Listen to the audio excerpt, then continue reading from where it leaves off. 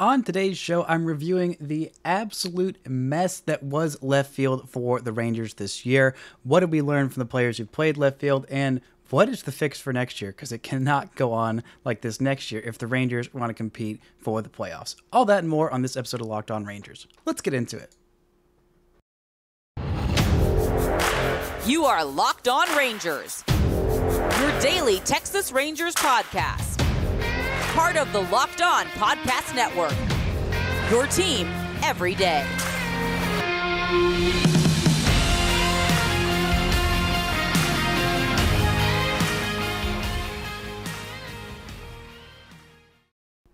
You are locked onto the Texas Rangers. I'm Brice Paterik, a cripplingly addicted Texas Rangers fan since 2010, the founder and host for all four seasons of this Locked On Rangers podcast. Today is Tuesday, November 1st. We are finally in November, and we are actually going to get game three of the World Series today. Everything was pushed back because of rain. But thank you all so much for making Locked On Rangers your first listen every single day. If you're not already, you can follow me on Twitter at Brice Paterik. You can follow the show at Locked On Rangers and subscribe on YouTube, where the best way that you can help grow the show is to comment any single thing below. Now, on today's show, we're going to break down what happened in left field because it, it's going to need to, to take a step back. I mean, can you even think of all the players who played left field for the Rangers this year? If you can, then you probably have as much of a baseball problem as I do. Uh, after our last recording, actually maybe a couple of recordings ago with Grant, he asked me if he could name all 14 of the Rangers players from memory that played left field this year. And I could. And I immediately celebrated and then said, oh no, oh no, I have a problem. This is this is a problem. This is this is not something to be celebrated. But if you can, you also have a problem, then you're probably listening to this show uh, quite a bit, or just very very obsessed with the Rangers. And I'm ha- happy that you found this podcast. Who can who you can share your sub- obsession with the Rangers if you can name all 14. Are you ready? If you can't, then that's probably very healthy. Uh, the the most games played in left field by any Ranger this year was Bubba Thompson, who didn't come up until I believe I want to say July. Maybe it was even August. It was a long time before Bubba Thompson came up, and he has the most games in left field of anyone. It's followed by Kole Calhoun, Brad Miller, Josh Smith, Nick Solak, Eli White, Zach Reks, Charlie Culberson, Elier Hernandez, Willie Calhoun, Steven Duggar, Steele Walker, and finally Mark Mathias with two whole games in left field. That that that's too many. That's way too many for one position. There is there's no other position that got even close. Let's see. Uh, second base. Okay, no, we're gonna go with shortstop. Shortstop had one, two, three, four, and Charlie Culberson only played it for um, for just a little bit, just one game. So they were almost just three. If if not for giving Josh Smith a little bit of run towards the end of the season, then it would have just been Marcus Semien and Corey Seager. At second base, the Rangers had a few different players. Um, and first base, they had uh, quite a few different. Not, not actually not as many as I thought. I think there's just five or six uh, with Culberson and Hernandez just getting one game apiece. But but left field was the uh, biggest crap show that, that was in the majors or in this Rangers major league roster this season, and it is still very much in question as to what's going to happen year, next year, because I don't think we're going to see any of these guys as the primary starter next year. Um, but I do think some of them deserve to get their props. Eli White, who was out since I want to say May. It's been a long time since he had been out with that scary collision. Thankfully, he is going to recover and be back next year. But he did a really good job while he was here. He was by far the Rangers' war leader of these players who played left field, um, or at least while they were playing left field, Eli White had a 1.0 baseball reference war, which put him in the top 12 of the Rangers in general this season. He only played in 47 games. Offensive numbers were not super great. Um, he was the guy who came up in 2020 and kept lasering baseballs all over the place, but just could not find holes and ended up hitting 188 then. Well, this season he hit 200 with an on base of 274 and slugged just 305, but the defense, oh my word, the defense.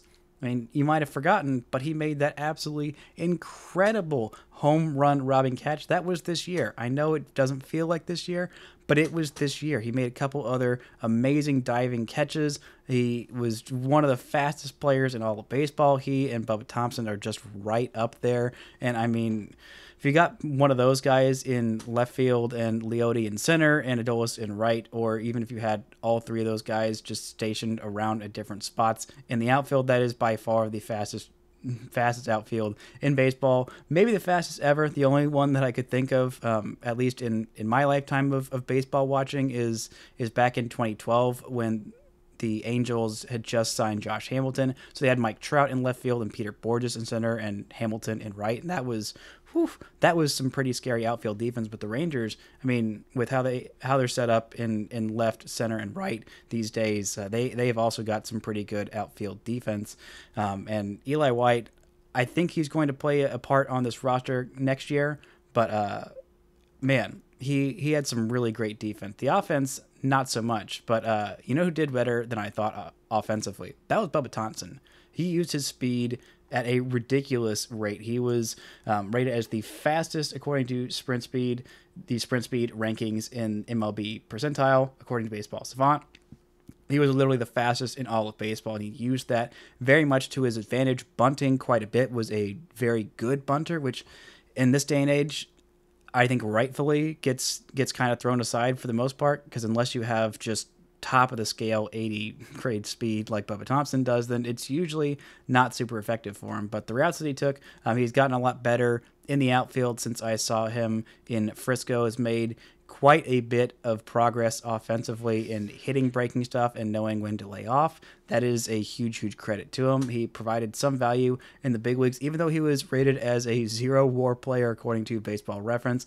I feel like that kind of unfairly judged how he did this year because I think he really did bring some nice things to the table. I was surprised that he wasn't just completely overmatched by major league pitching, but he wasn't. He did a fine enough job. He hit uh, 263. He had an on base of 302. The slugging was just 312. Only had that one home run. It was a, a nice one. Probably should have been two if not for the robbery in Houston, but still 18 stolen bases and just three times caught stealing, seven walks in his 181 plate appearances, which doesn't sound like a lot, and it's not.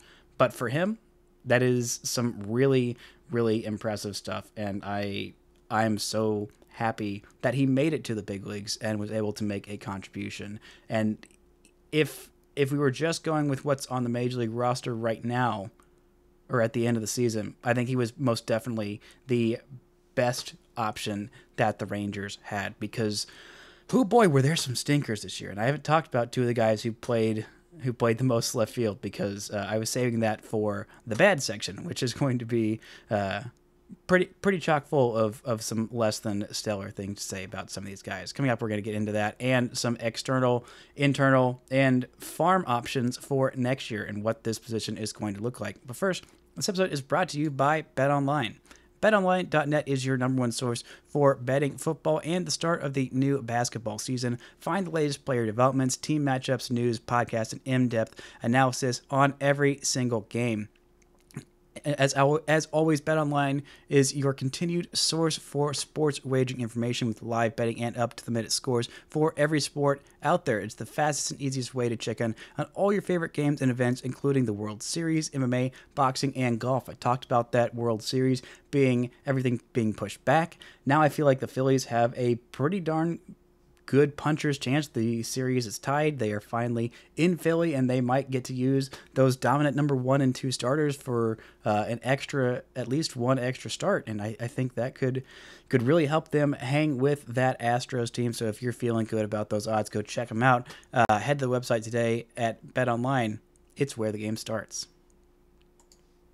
Now, I've already talked about some of the good things that the Rangers did in left field honestly, there wasn't a whole lot of good. The Rangers haven't had a good left fielder since that you know half season of Willie Calhoun being being really exciting and impressive in in left in 2019 before injuries and uh, you know everything else that kind of came along with that. And it would have been nice that Willie, for Willie Calhoun to still be here and be you know hitting well and you know playing a well passable maybe left field and hitting tanks and dingers. But that's not the case that is that is not the case for Willie Calhoun because uh, you know he he didn't stick around like like Kole Calhoun did, who um, was was not good. He was just not good. According to Baseball Reference, Kole Calhoun this year had a negative 1.5 Baseball Reference WAR.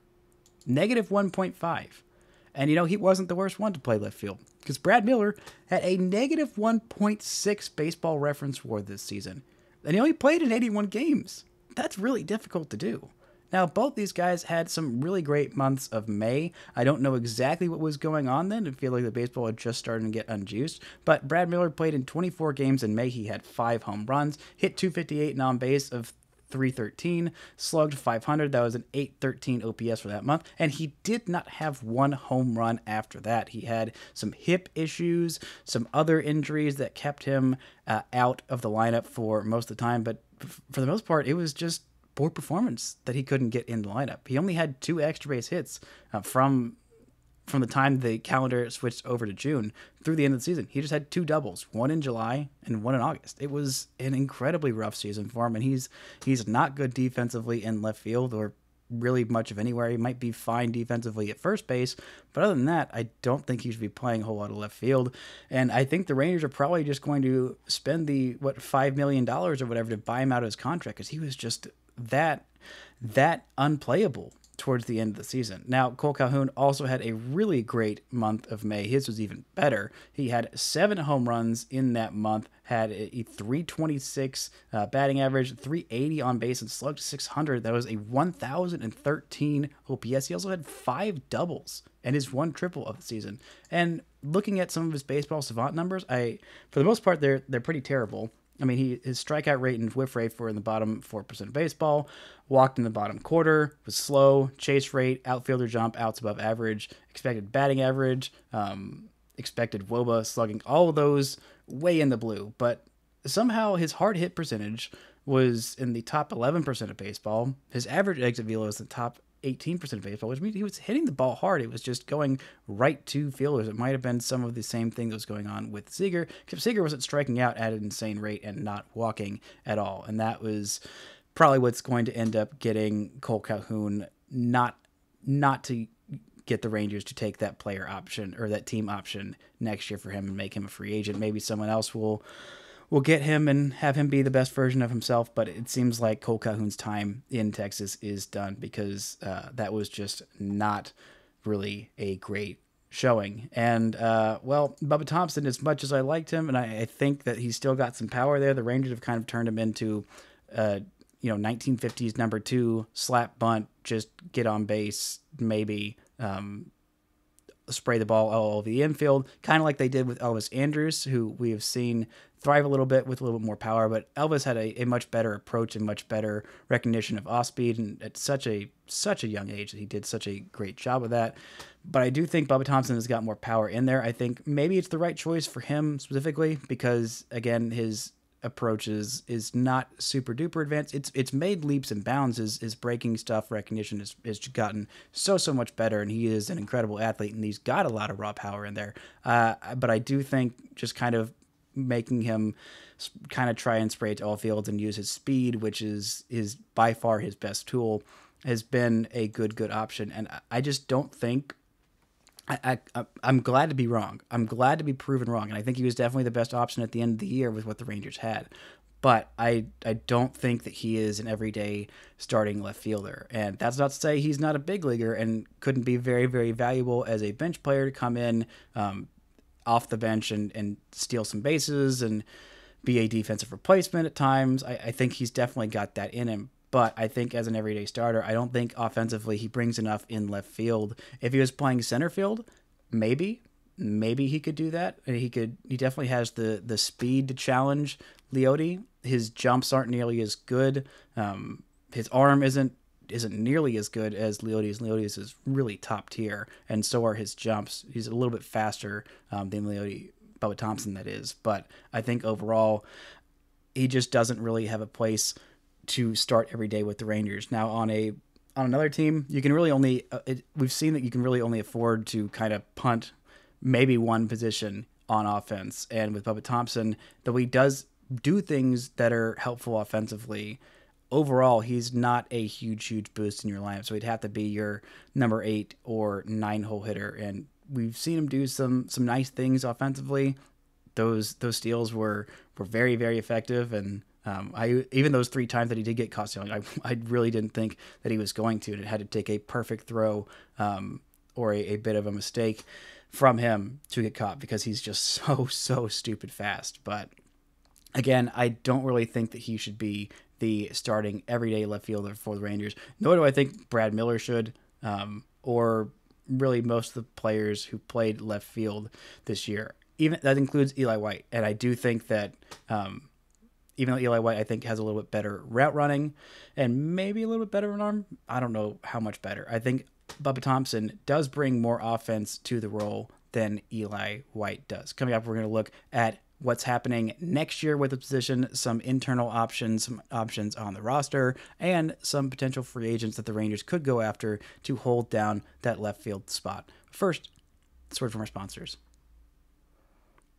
Now, I think if you're looking at who was on the big league roster at the end of the year, Bubba Thompson was the best option, but there were not a whole lot of great options. We did see Josh Smith out there. I think he's got a lot more value as a backup shortstop slash utility outfielder. Offensively, I think he's going to run into the same kind of problems that Bubba Thompson does, but I think he's going to have a little bit better at bats.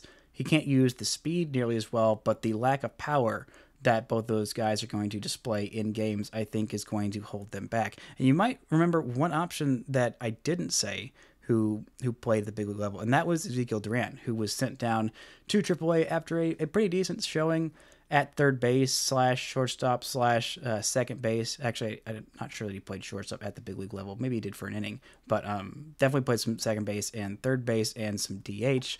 But the Rangers sent him down to AAA to get some of that outfield seasoning to play there a little bit more often. And I think that he might end up being the Rangers' best option. Mark Mathias also had a really, really great season for the Rangers in just a short, short time at the big league level. I loved what I saw from him. He was he came over in the Matt Bush trade, and offensively he did way more than I thought that he would. He had a 919 OPS in just 24 games, 74 plate appearances with five home runs. He really stepped up offensively in a short, short sample size. He can play a lot of different positions. He played uh, third base, the corner outfield. He has also been a DH for the Rangers. He, he just played pretty much everywhere the Rangers needed him. Also a little bit at first base as well. In Milwaukee, he played well. I guess just one inning in uh, in center field. He also played some games at second base. Not the Rangers have a whole lot of need there, but I think his bat will keep him on the major league roster next year, and I'd really like to see what he could do with some more playing time. Maybe he might be a better option than Bubba Thompson. I think defensively he doesn't bring quite as much as Bubba. Obviously, no one has the range of him, but offensively he really, really brought it in a small sample size, and I would love to see if that continues in a little bit of a larger sample size. He doesn't have you know crazy outstanding numbers at the minor league level. wasn't a you know hugely, hugely big prospect. He's still 27 years old and basically this is the most he's played at the major league level. He has shown the ability to hit at places at times um, in the minor leagues. Um, even in Round Rock, he did a really, really good job in just eight games there with a 946 OPS, and he has done it um, in the minor leagues um, at times in other places. But this is pretty much the best offense that he's had since his days at Cal Poly San Luis Obispo uh, back in 2014 and 15. But I'm curious if this is just a small sample size thing or if the Rangers really found something in his offense to make him tick with this new coaching staff. So I think I would really like to see him get a little bit more of a look next year if the Rangers don't go out and get something, uh, get someone, I should say, on the free agent market. But if we're looking on the farm, I think Ezequiel Duran right now, if I was just going off of off of what I've seen from last year. Heading into camp, I think that he is going to probably have the best chance to win that job. What he brings offensively last year, we saw it. He's got a huge, huge arm. He is one of the faster players in baseball. Obviously, not Bubba Thompson fast. Hasn't played a whole lot of outfield. Still going to be a lot of growing pains there. But we saw what he did at third base. There were some growing pains there. He hadn't played there very much at all until pretty much the Arizona Fall League last year. And then this year he played a whole lot of third and short and second. Um, and at the big league level, he pretty much just played third exclusively, but but did a really good job and held his own there. The power numbers are fantastic. He's pretty aggressive, and he's going to swing and miss a bit and not walk quite as much as you would like. But the guy puts hard contact on the baseball time and time again. And I was really, really encouraged with what I saw from him. I think the offense and the speed, which is going to make up for the ability that he, he doesn't quite have just yet in reading baseballs off the bat in the outfield, which I, I think he will get because he, he's a smart kid and a, a good instinctual baseball player. And maybe, maybe there's another option to go out there in left field internally. And I think that might end up being a spot where Josh Jung ends up because his arm is not great.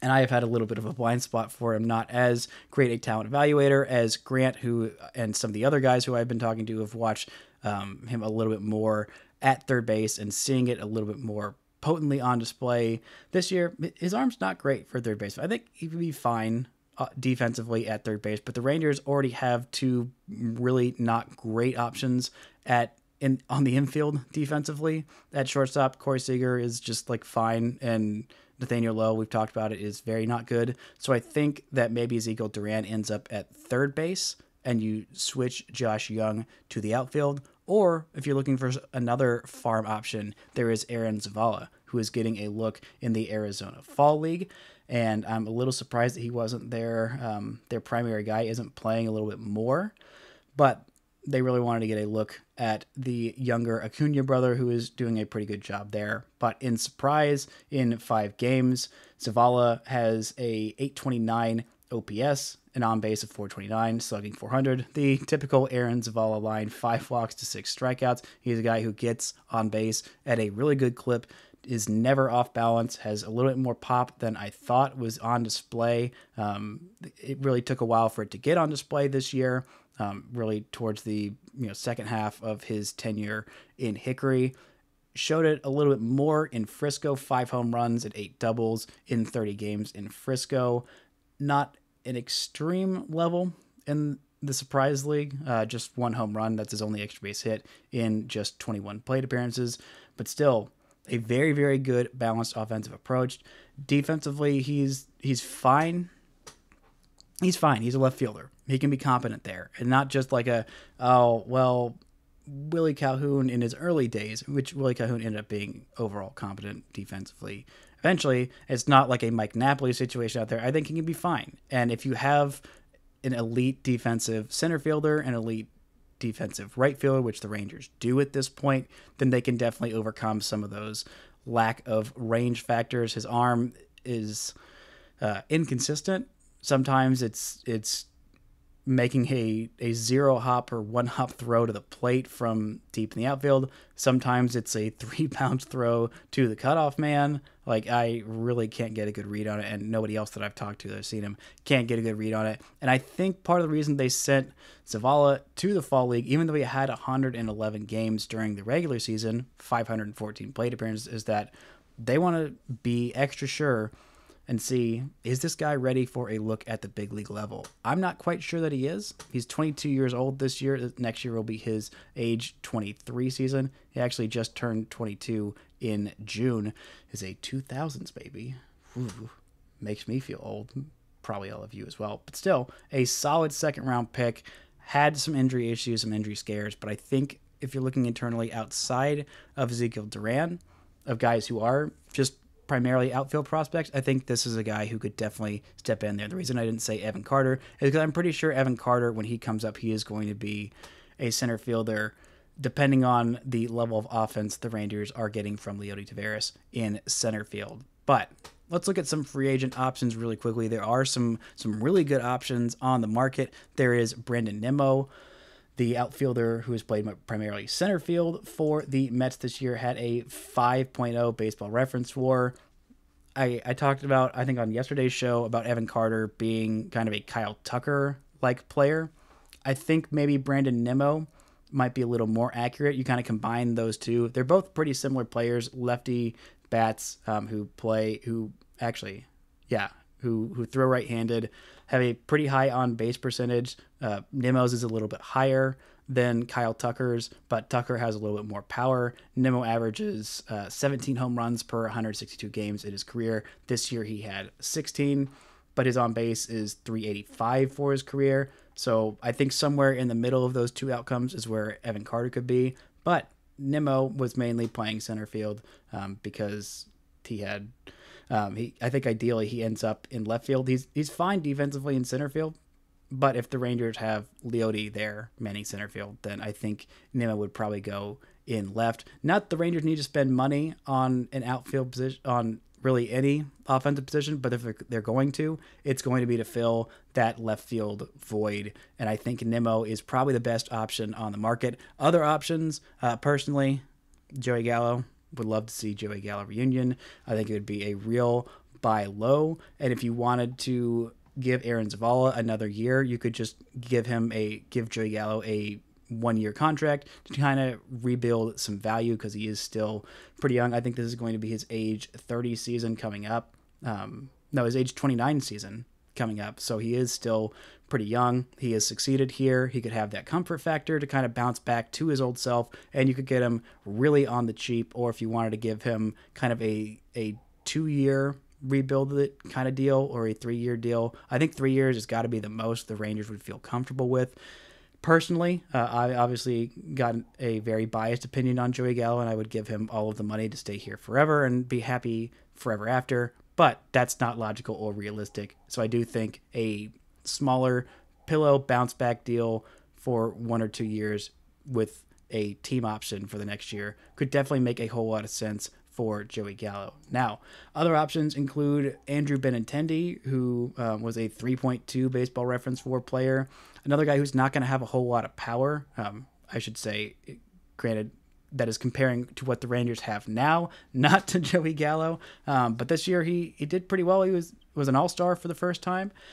Who's a guy who I wish the Rangers had drafted at number four instead of Dillon Tate. That's a whole other story for another thing. Um, but has won a Gold Glove in the past. A really, really good defensive outfielder who's got a really high on base for his career. Hits pretty well, um, but the power again, not a whole lot of power there. Averages 16 home runs per 162, an on base of 350 for his career, and a career OPS of 782. That's kind of about in line with what he did this year um, a slugging percentage just under 400 for the season and hit over 300 with an on base in the 370s. So a good guy for like number seven in your order. Kind of keep things moving uh, after the big guys get on base to you know continue some rallies.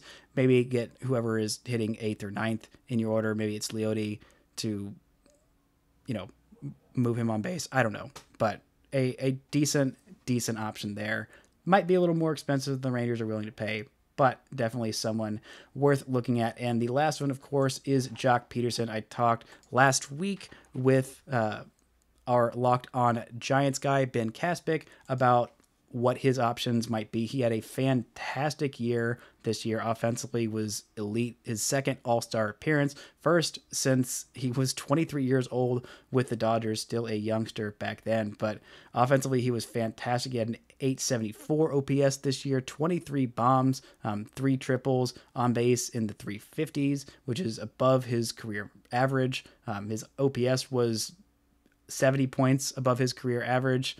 Set a uh, not quite a career high in home runs. I forgot that he had that 36 home run season with the Dodgers back in 2019. Somehow he wasn't an All Star that year. I don't really understand what's going on with voters then, but still a nice, nice season. Who does really, really well in the postseason. Has two different World Series rings. Won one uh, with the Dodgers in 2020, then won it last year in 2021 with the uh, Braves did not win one this year with the Giants, but still put up some solid numbers. And again, like I talked about last week, he wants to be in the postseason. So if he, if the Rangers can sell him on, hey, this is a postseason team, which I think if you add Joc Pederson in as like the number five, six hitter or whatever in this lineup, that's already pretty darn dangerous.